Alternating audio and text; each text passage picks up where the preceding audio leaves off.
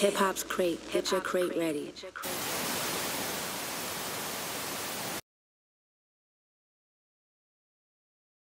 What's going on, y'all? It's your boy Major out of Queens, New York, and you rocking with Hip Hop Crates. Get your crate ready.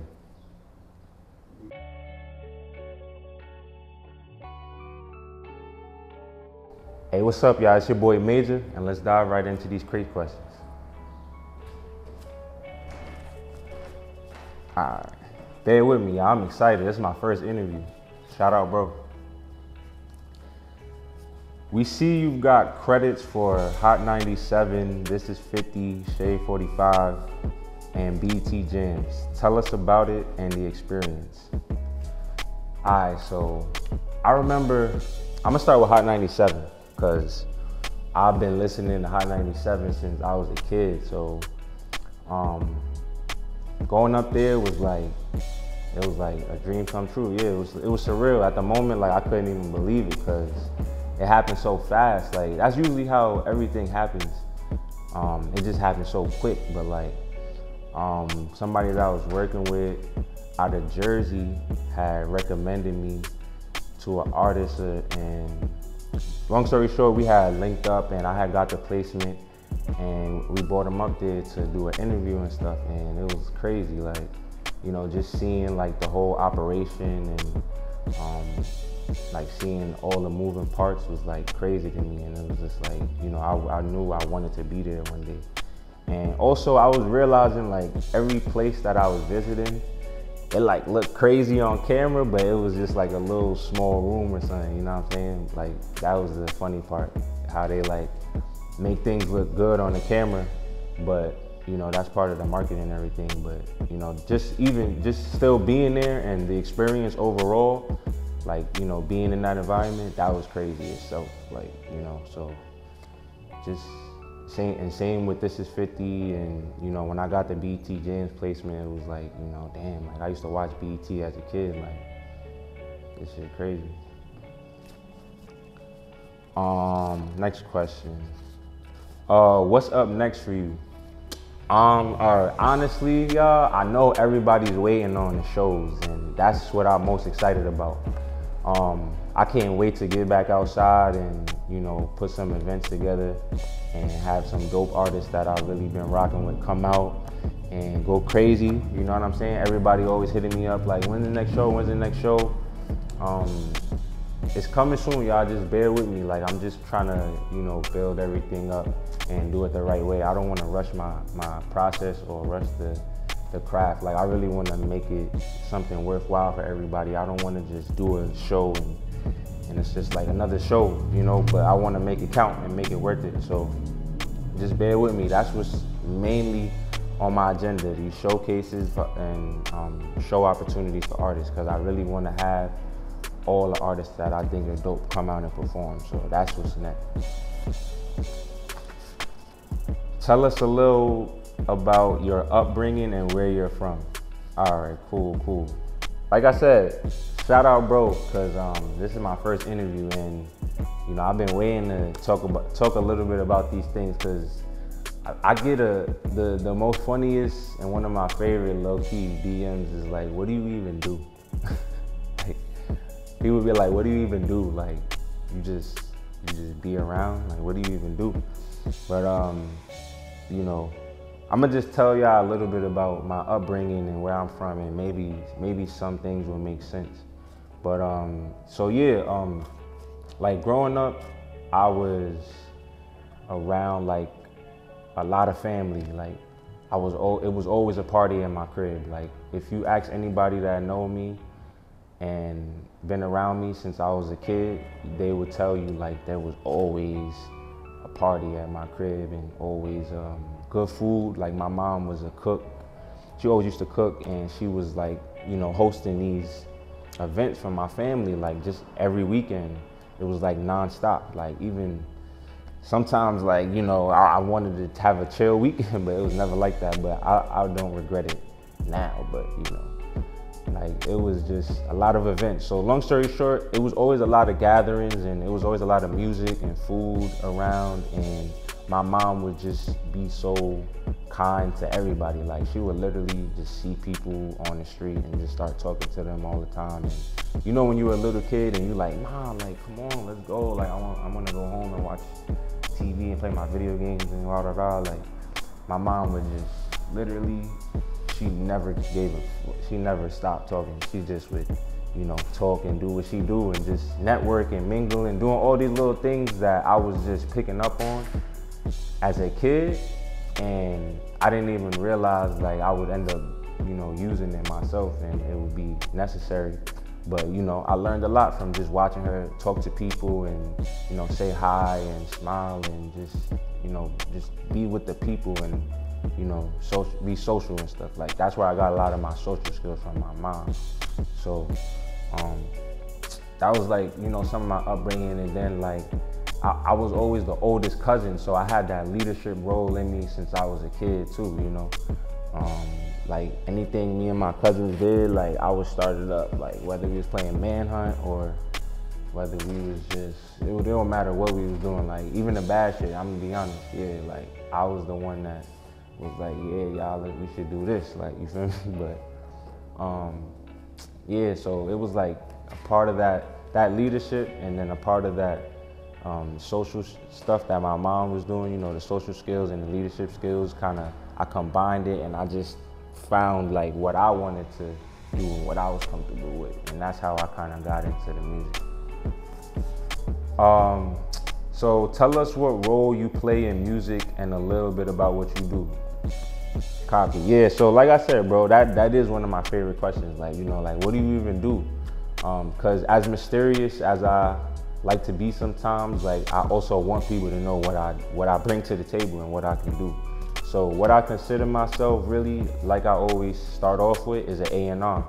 And A&R from, you know, my understanding being in the field so far is research and development, like artist research and development. So basically what you're doing is you find an artist um, and you helping them develop their art in whatever way, whether it be like um, like their image or their music itself or whatever. Like, so you pretty much like, um, like his side, you know, like his side ear. Like you giving him like, you know, some feedback on what to improve or what to change, what looks good and whatever. Like you like his ear to the streets, basically. Like because obviously an artist can't always be everywhere and know everything that they may need that's gonna take them, you know. So you kind of just give them that extra. Um, like that extra push in whatever direction they need. So that's where I kind of started, and then I went into management. So I started managing like kids from my neighborhood, and then after that, um, people was like, like after I stopped managing certain people and I started just you know doing like solo things, people was like, yo, you really, you really um like are good at this, um, you know, just finding good artists and like actually you know, doing projects and doing all these different things, like you take you take it serious, like you really, you know what I'm saying, it looks good what you're doing. And it was pretty much like helping artists build up their platform and then I was getting respect for doing that. Um, so that's pretty much like, you know, the second niche that I went into, that was management. And now I'm just into like um, curating curating events as well. So I wouldn't say like an event coordinator, but it's like all in the realm of like music production, kind of like you know like artist development, um, artist management, and events. You know that's like what I mainly focus on. So I, I would say like music production um, is like you know my title or my uh, um, excuse me like you know, my field that I'm in, like what you would categorize me in, like just a producer, basically. Um, because I'm gonna just do whatever I gotta do, really. Like, you know, if you add me on your team, you'll see like I'm gonna play whatever role. If you need me to be the, if you need me to hold you, hold the DJ set and the DJ case one day, I'm gonna do that. You know what I'm saying? If you need me to you know, like sometimes I had to get people they food, you know, Uber Eats outside. Like, can you get the food real quick? Like, I'll do that. You know, I'm a team player, bro, for real. So, whatever, whatever I gotta do, bro, I'm gonna do it. It's nothing. I don't be. I don't. I don't take anything like personal, or I don't ever think I'm too big to do what you know is necessary for the team to win. So, aside me being like a producer, I'm everything you need on your team. Like, just just find out. How did you get in the business of being a talent agent? This is some good questions, bro. How did I get in the business? So, like, yeah, I was saying a little bit before. Um, you know, like I spoke about my upbringing and like what kind of led me. Fun, like, quick story, like, um, one time I had got in trouble as a kid because I was trying to like help somebody get like a little weed to smoke, and I was like middleman in it. And you know, so long story short, my family always probably seen like the the how you say like the liaison in me or like the middleman talent skills in me, like you know the the, the cons- consultation skills and the business skills. Like my family kind of seen it, but they didn't really know. Neither did I at the time, but you know what I'm saying. We didn't know what I was gonna end up doing, but like I just kept following like what I was comfortable doing and following my path and like I ended up here, you know. So I'm just seeing where it takes me pretty much. Um, but how did I get in the business? Uh, like I was saying before, like I got in the business just basically like networking, bro. Like networking is powerful because I always used to, even back when I made the, um, back when I made the middleman transaction for the weed, like I always used to think in my room, like, like I wanna, I wanna make money and I wanna be productive, but I don't wanna um, work. Like I want to be a free person that can just, you know, have the ability to do what I want to do when I want to do it. And for me, this is this is 24/7 regardless. So it's more than a job and a nine to five. But I wanted to have the freedom to work with people across the world, whenever, whatever, whenever. About you know, that's that's my bop. Like I really want to do that. I want to work with people all over. Three in the morning, I be I be like thank God, bro. You know, I be making connections and money three, four, five in the morning, all around the clock. So it's like that's just a blessing to me. Um, just meeting people, talking to me. I, like I wouldn't be able to passionately do that anywhere else. You know, so I just got into business doing that, bro. Networking and networking, meeting people, and I just never stopped. I've been doing that for like the past three years. How was it working with Brooklyn artist 917 Rackz? Rackz, Rackz, Rackz. Hey, he's one of my favorite artists. He's one of my favorite artists coming up right now. Um, I told him when he had like 10k followers, I told him, yo, bro, you gonna be good. You you gonna make it. Like I see you making it or whatever. It was only like a couple months later, like, and I'm not gonna say I've been right about mad artists. I've been right about a couple, um, like saying they gonna make it. Shout out like Stunna Gambino and a couple other people, but like I told Rackz he was gonna get a blue check and he was gonna be good and all that. Like you know what I'm saying? Like I, I basically was telling him you're gonna be in the industry, and he was there in a couple months later. That's that's my guy. I fuck with him. I fuck with his manager OD. Um, his manager Fresh is mad cool, bro. Um, they showed me nothing but love. Like, and I got another session with them coming up. So stay tuned for that. Who are some of the artists you've worked with? Some of the okay, yeah, I know everybody want to know this question too. Who some of the artists I worked with? Um, well, I worked with. I mean, like I haven't worked with everyone yet, you know, but like I've met a lot of people. But some of the art, I'm gonna say some of the artists I worked with and, and some of the artists I met that I want to work with. So some of the artists I worked with is like Jay Critch, Stunna. Um, I helped my boy do like certain events with other artists. Like he did Rah Swish, uh, he just did B Love, he just did. We about to do a C Blu show in Jersey. About to do Sha EK show. Um, you know, like there's so many artists in New York that I worked with. Um, Jay Critch was probably like the biggest artist that I worked with. That opportunity was like, you know, the best opportunity that I got. One of the best opportunities that I got so far for sure. Um, I went to Rolling Loud and I ended up meeting so many artists that I want to work with. Bro, it's not even funny. Like, I remember Sauce Walka was like really fucking with me, bro. He, he was already fucking with like a New York kid, and then when he saw me, it was just like a vibe, and he DM'd me after the show. It was like that shit was crazy.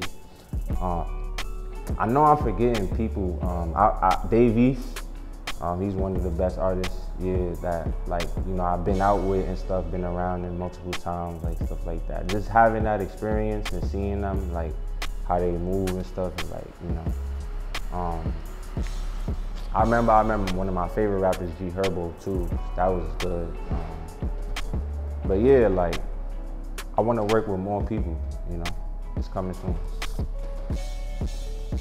We see, oh, that was it. Copy. It's major, and those are my crate questions.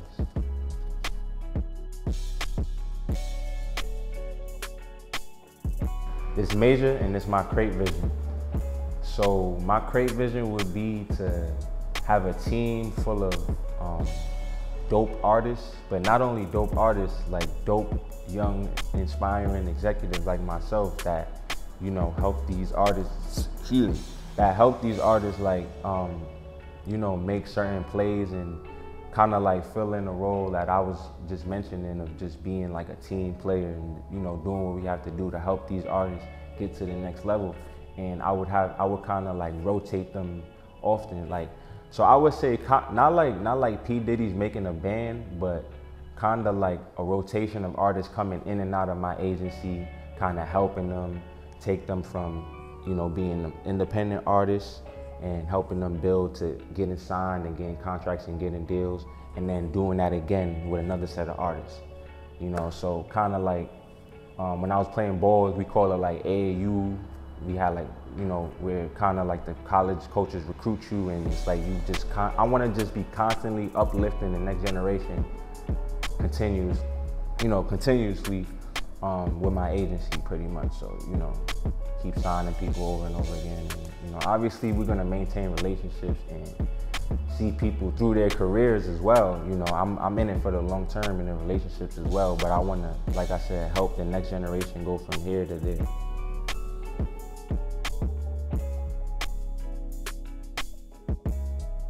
If I don't make it, I, it's a thousand ways to get paid. So don't worry, I'm gonna be good. Like this work ethic is non-stop. Like I got ADHD. I don't, people tell you probably I post all day. I'm probably annoying. So if I don't make it here, I'm gonna be good somewhere. I swear to God, this ain't stopping. Shit, it's major, and that's my crate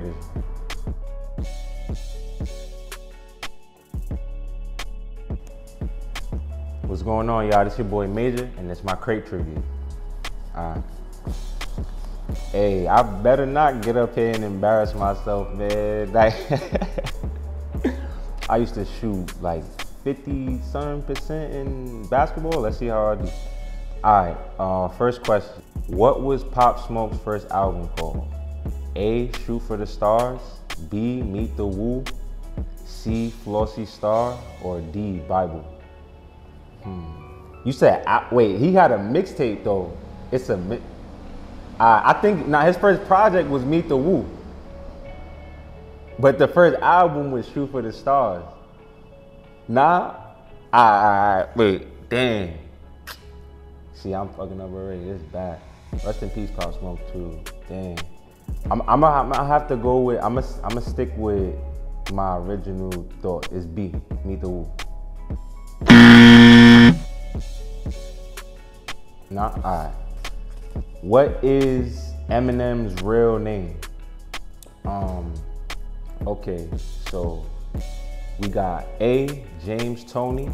We got B, Lance Smalls. We got C, Marshall Bruce Mathers. And we got D, Slim Shady. Yo, shout out my teammate for loving this man so much because you literally just saved me, big boy. You know who you are. The big, the big man on my team. That nigga used to love Eminem. He was like a lumberjack kid. These niggas used to love him. Um, but I'm gonna go with C, Marshall Bruce Mathers. Imagine I did all that and I was wrong. hey yo, all right, where we at? What West Coast artist album was called the documentary? Ooh, this is a good one. Wait, oh, yes, I, see, you gotta pay attention. Thank God, because I, if I embarrass myself, that's a bad look for hip hop. I ain't gonna lie, like, I can't do that. But let me read it. A. Snoop Dogg, B. Nipsey Hussle, C. YG, or D. The Game. And I'm gonna have to go with D. The Game. Pretty sure about that one. What female artist came out with the song Try Me? Oh, that used to be my shit too. That didn't try me. Yeah, high school vibes. I ain't gonna lie, that shit came out when I went to my new high school. Yeah, I remember that. Music is really nostalgic. Like it brings back certain times in your life. Like I used to really bump that going to school. But where? So we got A, Tink. We got B, Foxy Brown. C, Dej Loaf, and D, Cardi B. All of these some dope female artists too, by the way. But it's C, Dej Loaf for a fact. I remember that song. Like 2014, I think. This he trying to. This the hard one. I knew it was one that was going. Who produced? Who produced Nas' album King Disease? Oh, that's the new one too. You gotta know that, brother. Let's go. Okay, it's either A. Hit Boy, B. Hitmaker, C. Kanye West, or D. Swizz Beatz I think it's between A and B is Hit Boy and Hitmaker. What's it? I know.